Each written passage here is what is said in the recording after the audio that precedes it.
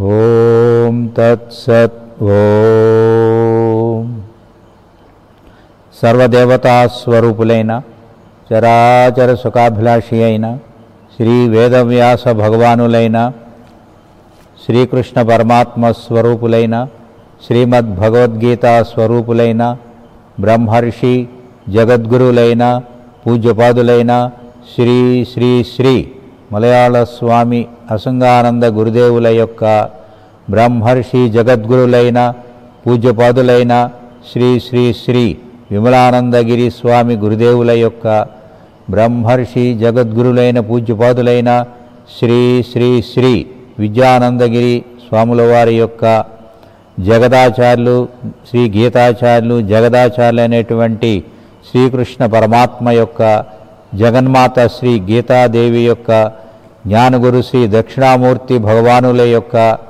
జగత్పిత శ్రీ వెంకటేశ్వర స్వాముల వారి యొక్క జగన్మాతలైన శ్రీ లక్ష్మీదేవి శ్రీ పద్మావతి దేవతల యొక్క అలాగే బోళాశంకరుడైన శ్రీ పరమేశ్వరుని యొక్క జ్ఞానస్వరూపిణి దయాస్వరూపిణి జగన్మాత అయిన శ్రీ పార్వతీదేవి యొక్క జగన్మాత శ్రీ గురుగీత యొక్క సర్వదేవతా స్వరూపమైనటువంటి చరాచర స్వరూపమైనటువంటి సగుణ నిర్గుణ స్వరూపమైన శ్రీ ప్రణవ పరమాత్మ యొక్క సమస్త దేవతల యొక్క మహాదివ్య పాదపద్మములకు అనన్య భక్తితో ప్రణామములు అర్పిస్తూ పరిపూర్ణ పరబ్రహ్మ స్వరూపులకు ప్రియాత్మ బంధువులారా అమృత హృదయులారా అభిన్నాత్మ స్వరూపులారా అందరికీ హృదయపూర్వక నమస్సుమాంజలులు.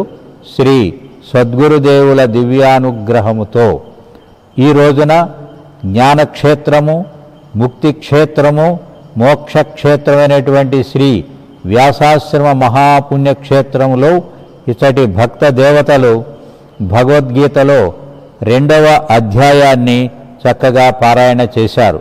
అంటే చదివినారు. అనగా పఠించారు అన్నమాట దానిలో భగవంతుడు అరవై ఆరవ శ్లోకంలో ఒక అద్భుతమైనటువంటి విషయాన్ని మనకి అందిస్తూ ఉన్నాడు అనుగ్రహిస్తూ ఉన్నారు.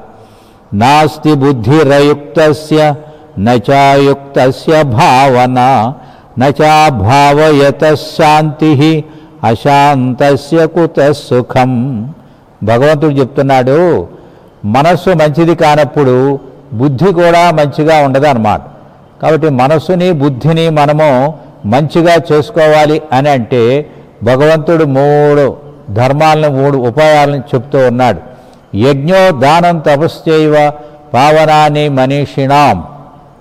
మీలాంటి మంచివాళ్ళు అందరూ కూడా మూడు పనులు చేసుకొని మీ మనసుని పవిత్రం చేసుకొని మీ బుద్ధిని శుద్ధం చేసుకొని ఒక ఆత్మ జ్ఞానాన్ని సంపాదించుకొని భక్తి ద్వారా జ్ఞానాన్ని సంపాదించుకొని ఒక్కొక్కరు జీవనముక్తులై మాట్లాడే దేవుడై మాట్లాడే దేవతలై మీ జీవితాలను మీరే ధన్యత చేసుకోండి అని చెప్తూ ఉన్నాడు.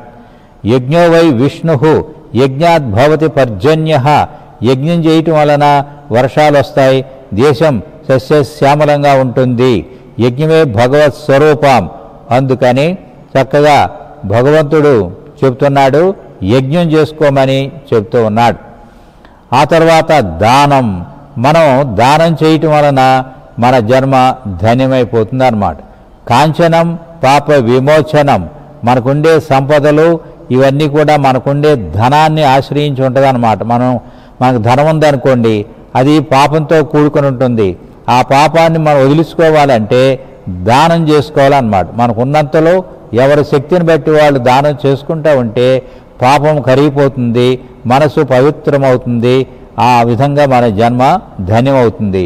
అందుకని దానం చేసుకోమని చెబుతున్నాడు. ఎవరైనా నేను దానం చేయను అనేవాళ్ళు ఉంటే వాళ్ళకి సమాధానం చెప్తున్నాడు భగవంతుడు. అదాన దోషేణ భవేత్ దరిద్ర్య దరిద్ర. దారిద్ర్య దోషేణ భవేత్.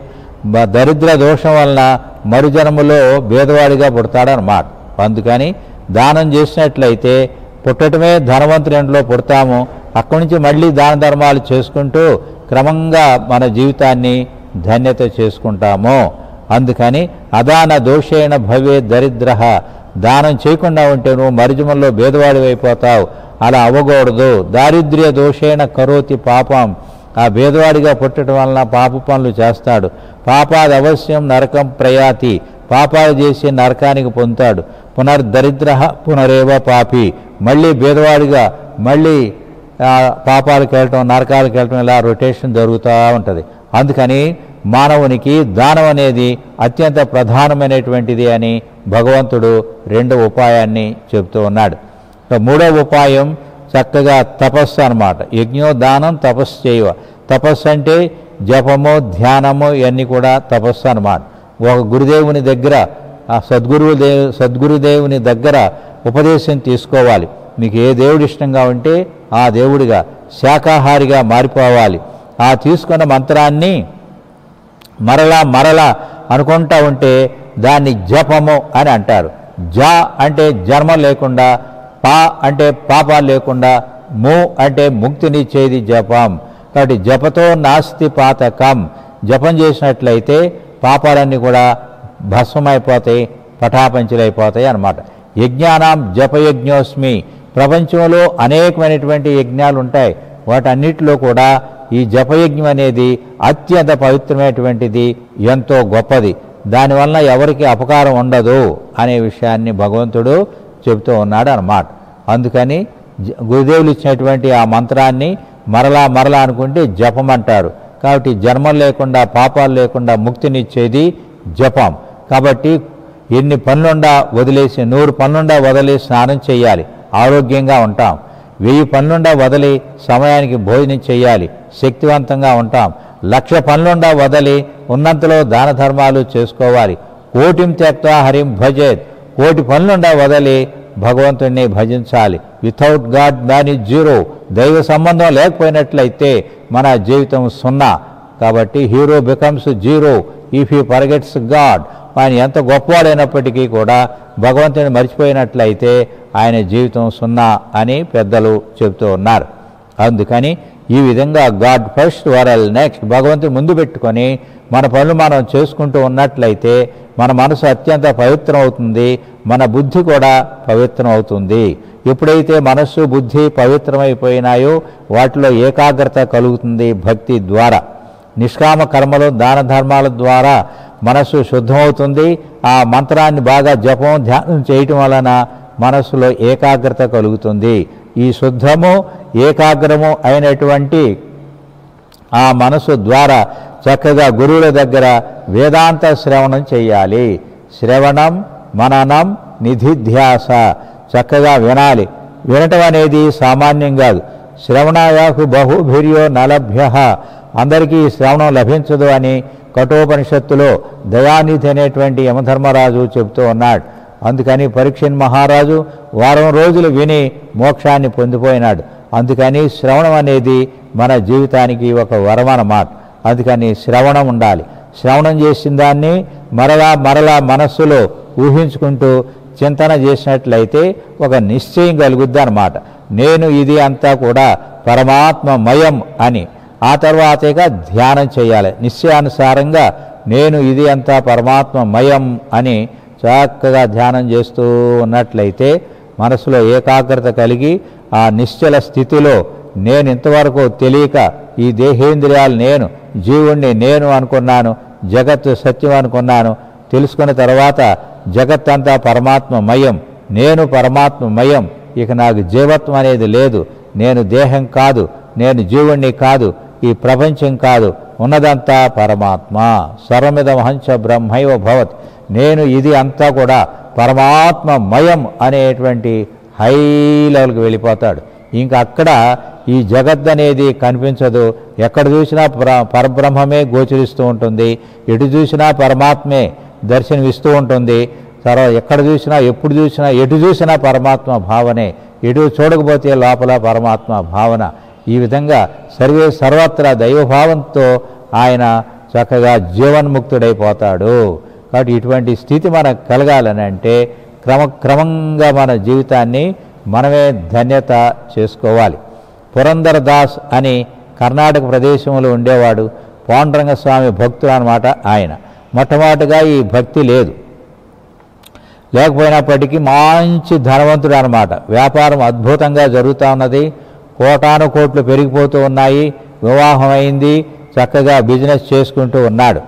ఇక ఈ బిజినెస్లో పడిపోయి భగవంతుని దృష్టే లేదనమాట ఇంకా దానము ధర్మాలు అనేవి లేనే లేవు. అయితే వివాహం అయింది భార్య గారు చాలా ఉత్తమరాలన్నమాట. ఆమె కూడా కొంత ధనం తెచ్చుకున్నది పుట్టింటి కాడి నుంచి అది ఆమె దాన ధర్మాలు చేస్తూ ఉండేదన్నమాట. ఇలా ఉంటూ ఉండగా ఆ పాండురంగ స్వామికి ఈ పురంధరదాస్ ఎందు దయగలిగి ఈయన మన భక్తుడిగా మార్చేసుకోవాలి అనుకున్నాడు. ఎందుకని అని అంటే పూర్వజన్మలో కూడా ఈ పురంధరదాస్ ఆ భగవంతుణ్ణి సేవించి భజించి ఉన్నాడనమాట అయితే ప్రపంచ వ్యామోహాల మీద ఇంకా ఆ ఆసక్తి ఉండగానే ఆయన సాధన పూర్తి కాకుండానే చనిపోయినాడు. అలా చనిపోయిన వాళ్ళు మరుజన్మలో ధనవంతులుగా ఉండి కొంతకాలం ప్రపంచ భోగాల్లో ఉండి మళ్ళీ షడన్గా మారిపోతారు అన్నమాట గౌతమ బుద్ధుడు మరి శవాన్ని చూసి మారిపోయినాడు. ముసలివాడిని చూసి మారిపోయినాడు రోగగ్రస్తుని చూసి మారిపోయినాడు అన్నమాట. అట్లా మారిపోతారన్నమాట. అట్లాగే వేమనయోగి కూడా మారిపోయినాడు. అలాగే వాల్మీకి మహర్షి ఆయన మారిపోయినాడు అన్నమాట. కాబట్టి ఆ విధంగా జీవితానికి ఒక టర్నింగ్ పాయింట్ అంటూ ఉండాలన్నమాట. ఆ విధంగా చక్కగా ఈయనకి టర్నింగ్ పాయింట్ వచ్చింది. ఆ భగవంతుడు ఒక పెద్దాని రూపంలో ఒక డెబ్ ఎనభై తొంభై ఏళ్ళ వయసులో ఉండేట్టుగా ఒక మనవణ్ణి ఎమ్మడబెట్టుకొని ఈయన షాపుకి వెళ్తాడనమాట అయ్యా పురంధరదాస్ గారు మీరు గొప్ప ధనవంతులని గొప్పవారని తెలిసింది. ఇదిగో టెంకాయ మీకు ఆశీర్వది చేస్తున్నాను. ఈ టెంకాయ తీసుకోండి. మా మనవడు పెళ్ళికి ఏదైనా ధనం సహాయం చేయండి అని అడిగాడు. ఇక ఆయనకి ఒళ్ళు మండిపోయింది. పైసయే పరమాత్మ అనుకుంటారు లోభత్వంగా ఉండే వాళ్ళకి. అందుకని నువ్వు ఇంత కొద్ది టెంకాయ ఇచ్చి ఎక్కువ ధనం అడుగుతున్నావా? భలే ఆశ నీకు. నేను నీ టెంకాయ నువ్వు తీసుకుపో నేనేమి ఇవ్వను. గెటౌట్ వెళ్ళిపో. నా వ్యాపారంకి అడ్డు వస్తున్నాను అని చెప్పి గట్టిగా చెప్పాడు. సరే ఆయన మెల్లగా వెళ్ళిపోయినాడు. వెళ్ళిపోయి ఇంటికి వెళ్తాడనమాట ఈ పురంధరదాస్ గారి ఇంటికి వెళ్తాడు. అక్కడ భార్య గారి దగ్గరికి వెళ్ళి నమస్కారం చేసి అమ్మా మీరు ఎంతో ఉత్తమరాలని దాన ధర్మాలు చేస్తుంటారని తెలిసింది. ఈయన మా మనవడమ్మా ఈయనకి పెళ్ళి చేయాలి. నాకు ఆ బాధ్యత ఉన్నదమ్మా నీకు పుణ్యం ఉంటుంది ఏదైనా ధన సహాయం చేయమ్మా అని అడిగాడు. ఆయన మనసు కరిగిపోయింది. ఇవ్వాలంటే పుట్టింటి కాని చేసుకున్న ధనమంతా దాన ధర్మాలకు అయిపోయింది ఇంకేమీ లేదు. ఏం చేయాలా అని ఒక్కసారి ఆ భగవంతుని పాండురంగ స్వామి భక్తురాలన్నమాట ఆయన కూడా ఒకసారి భగవంతుని తలుసుకుంటే వెంటనే స్ఫురించింది. ముక్కు పొడగా ఉన్నది కదా అది తీసి ఇచ్చేయి అని. వెంటనే దాన్ని తీసి ఈయన చేతిలో పెట్టి నాయన ఇది ఎంతో విలువైనటువంటిది దీన్ని తీసుకొని వెళ్ళి అమ్మేసుకుని ఆ వచ్చే ధనంతో మీ మనవడు పెళ్ళి చేసుకో అని చెప్పి ఇచ్చేసింది. సరే ఆయన భగవంతుని లేలు కదా ఆయన నేరుగా ఈ పురంధరదాస్ దగ్గరికే తీసుకొచ్చాడు దాన్ని. ఇది చూడగానే ఆయనకి గుర్తొచ్చింది నేను నా వివాహ సమయంలో మా భార్య గారికి పెట్టిన ముక్కు పొడిగే ఇది ఇది సామాన్యమైనటువంటిది కాదు కొన్ని కోట్ల విలువ చేస్తుంది అని చెప్పి దాన్ని గుర్తుపెట్టేసి వెంటనే ఆ పెట్టులో పెట్టి తాళం వేసేసి నువ్వు ఇక్కడే ఉండు నేను ఇప్పుడే ఇంటికి వెళ్ళి వస్తాను అని చెప్పి ఇంటికి వచ్చాడు ఇంటికి వచ్చాక కోపంతో ఊగిపోతున్నాడు. కళ్ళు ఎరబడిపోయినాయి. పళ్ళు పటపట నోరుతున్నాడు. శరీరం అంతా వేడెక్కిపోయింది. ఆ భార్యను పిలిచాడు. గద్దించి పిలిచాడు. ఇక ఆమెకు భయం పెట్టిపోయింది. ఇదేదో ప్రమాదం జరిగేటట్టుగా ఉన్నది అని ఆ భయం భయంగా వచ్చింది. నీ ముక్కుపడగ ఏది? అని అడిగాడు కోపంగా. ప్రాణేశ్వర దాన్ని శుభ్రం చేయాలని చెప్పి చాలా కాలం అయింది కాబట్టి పక్కన పెట్టాను మళ్ళీ తీసుకొస్తానని చెప్పి అబద్ధం చెప్పి అక్కడి నుంచి వెళ్ళిపోయి ఇక తులసి కోటకు రోజు పూజ చేసేది అనమాట ఆ తులసి కోట ప్రదక్షిణ చేసి పూజ చేసి ఆ ఒక విషగిన్ని ఇంట్లో మరి ద్రావకాలు అవన్నీ ఉంటాయన్నమాట బంగారు వ్యాపారం కాబట్టి. ఆయన చేసేది బంగారు వ్యాపారం భర్త గారు. ఆ ద్రావకాలన్నీ తీసుకొచ్చి ఆ విషాన్ని విషంతో సమానమైనటువంటి వాటిని గ్లాస్ గిన్నెలో పోసుకొని ఆ భగవంతుని ప్రార్థించుకొని ఇదే ఆఖరి పూజ తులసిదేవ పోండరంగ స్వామి ఇదే మీకు ఆఖరి నమస్కారం అని చెప్పి కళ్ళు మూసుకుని నమస్కారం చేసి కళ్ళు తెరిచి తాగబోయే తలికి ఆ గిన్నెలో ఈ ముక్కు వచ్చింది.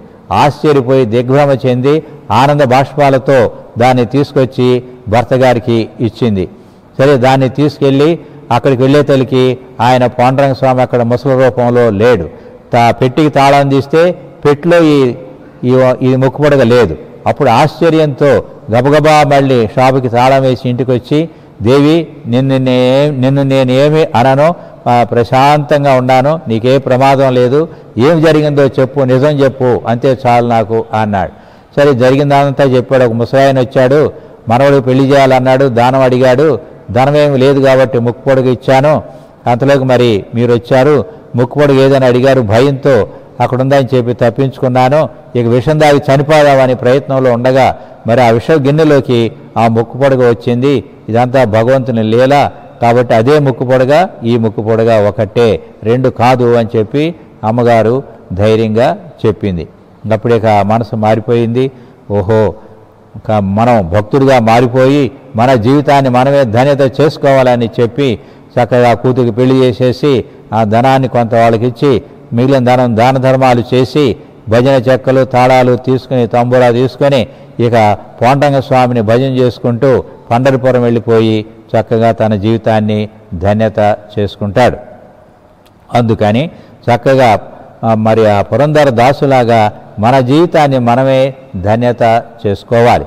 అందుకని అట్లా జీవితం ధన్యం కావాలని అంటే భగవంతుడు చెప్పినటువంటి ఈ విషయాన్ని మనం ఈ శ్లోకాన్ని కంఠస్థం చేసుకుని మనస్సుని మార్చుకోవాలి బుద్ధిని మార్చుకోవాలి. ఈ రెండింటిని ఎప్పుడైతే మార్చుకుంటామో అప్పుడు మనం ఆ భగవద్భక్తిలోకి వెళ్తాం భక్తి ద్వారా జ్ఞానంలోకి వెళ్తాం. జ్ఞానం అంటే ఏమిటి? హుయామై నేను ఎవరిని అనేది తెలుసుకుంటమే జ్ఞానం. మనం అంతా కూడా తెలియనప్పుడు ఈ శరీరమే నేను నేను శరీరము నేను జీవుణ్ణి అని అనుకుంటాం. కానీ మనం శరీరం కాదు జీవుడము జీవులము కాదనమాట. ఎందుకంటే వీటన్నిటిని మనం తెలుసుకుంటున్నాం. శరీరాన్ని తెలుసుకునే మనం శరీరం కంటే వేరుగా ఉంటాం. అందుకని మన ఆత్మని ప్రత్యేగాత్మ అని అంటారు. ప్రత్యేక్ అంటే శరీరంలో మనం ఉన్నప్పటికీ కూడా శరీరం కంటే వేరుగా ఉంటామన్నమాట ఆ వేరుగా ఉండే ఆత్మే పరమాత్మ. ఈ పరమాత్మే మన యొక్క నిజస్వరూపం. ఈ దేహేంద్రియాలు పంచభూతాల యొక్క నిర్మాణం. మన శరీరంలో భూమి జలము అగ్ని వాయువు ఆకాశం ఐదు ఉంటాయి మనలో ఉండే ఎముకలు రెండు వందల ఆరు ఉంటాయి. ఈ ఎముకలు గట్టిగా ఉంటాయి. భూమి గట్టిగా ఉంటుంది. కాబట్టి ఎముకలన్నీ భూమికి సంబంధించినటువంటివి.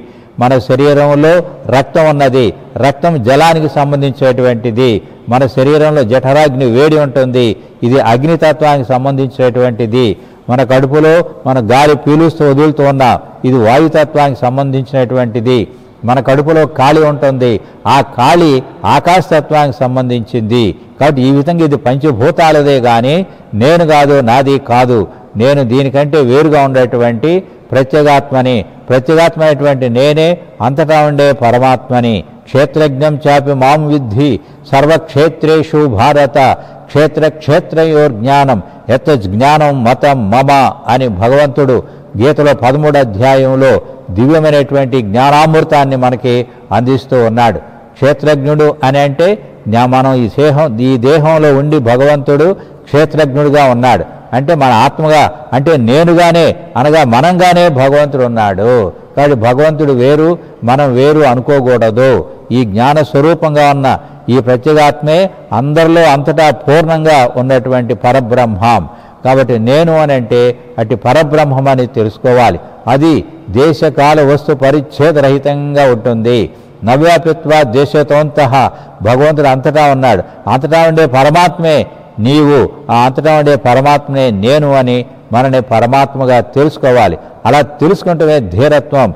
కశ్చి ధీర ప్రత్యేగాత్మానమైక్షత్ ఔరత చక్షు అమృతత్వమిచ్చన్ జనమణ రహితమైనటువంటి మోక్షాన్ని కోరేటువంటి వాడు ఈ విధంగా దేహేంద్రియాలను కంట్రోల్లో పెట్టుకొని లోపలుండే ఆనందమైన జ్ఞాన స్వరూపమైన పరమాత్మ నేనని తెలుసుకుంటాడు. అటువంటి వాడిని ధీరుడు అంటున్నారు. అందుకని ఆ ధీరుడైనటువంటి పరబ్రహ్మమే మన అందరమే కూడా అయి ఉన్నాం. అందుకని భగవంతుడు చెబుతున్నాడు ఈ విధంగా నువ్వు జ్ఞాన స్వరూపమైనటువంటి పరమాత్మవి. కాబట్టి నీలో ఉండే ఆత్మే అందరిలో ఉన్నది. మనుష్య చతుర్ముఖేంద్ర దేవేషు మనుష్య అశ్వ గవాదిషు చైతన్యమేకం బ్రహ్మాత ప్రజ్ఞానం బ్రహ్మమయ్యపి.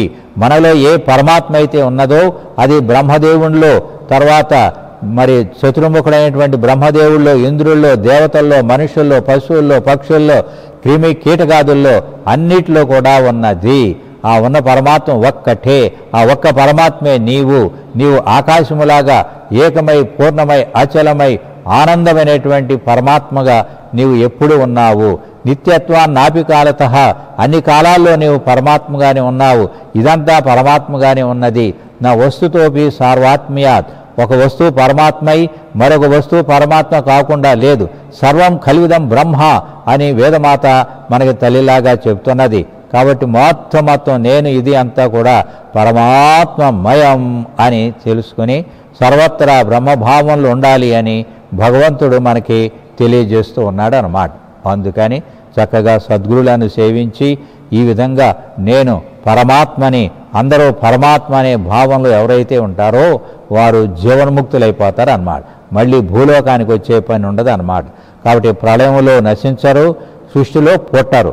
ఈ రెండు లాభాలు వాళ్ళకు ఉంటాయి మూడో లాభం ఏమిటంటే ఆ మోక్షంలో ఆనందంగా ఉండిపోతారు. ఇప్పుడు మీరు గాఢంగా నిద్రపోయారు అనుకోండి. ఎన్ని గంటలు గాఢంగా నిద్రపోయినా అన్ని గంటలు మీరు హాయిగా ఆనందంగా ఉంటున్నారు. అట్లా ఎల్లప్పుడూ ఆనందంగా ఉండేది మోక్ష స్థితి. కాబట్టి ఆ మోక్షాన్ని సంపాదించటమే మానవుని యొక్క జీవిత లక్ష్యం. అటువంటి జీవిత లక్ష్యాన్ని సంపాదించుకొని ఒక్కొక్కరు మాట్లాడే దేవుడిగా మాట్లాడే దేవతలుగా అయిపోండి. మీళ్ళు స్వర్గమై మీరు దేవతలై మీరు హాయిగా ఆనందంగా ఉందురుగాక. మీ అందరినీ కంటిని రెప్పలాగా చిన్నపిల్లవాడిని తల్లిలాగా భగవంతుడు ఓం. ఇదే ఈ జ్ఞాన కానుకే వ్యాసాశ్రం మీకు అందిస్తున్నది. మీ జన్మ ధన్యం. ఓం శ్రీ ప్లవనామ శ్రావణ శుద్ధ సప్తమి ఆదివారం అనగా ఈరోజు ఆశ్రమంలో భిక్షులు చేసేవారు. కీర్తిశేషుడు కొట్లూరి వెంకట బసవయ్య గారి ఆత్మశాంతము కుమారుడు కొట్లూరి జనార్దనరావు గారు విజయవాడ. శ్రీ కులగం చిన్నారెడ్డి ధర్మపత్ని సుబ్బాయమ్మ గారు అనబట్టి కీర్తిశేషుడు వెలగపూడి రాఘవమ్మ గారి ఆత్మశాంతికము కుమారుడు వెలగపూడి రామకృష్ణ గారి విజయవాడ రాజభిక్ష చిరంజీవి భీమారెడ్డి శ్రీ హర్షిని జన్మదిన సందర్భంగా తల్లిదండ్రులు భీమారెడ్డి రామకృష్ణారెడ్డి అశ్విని గారు హైదరాబాద్ వాస్తవులు మరి కీర్తిశేషులైనటువంటి వారికి సత్పురదేవులు పద్ధతిని ప్రసాదించి తక్కిన వారికి జ్ఞానయోగ వేదాంతం ప్రసాదించి action to that warm.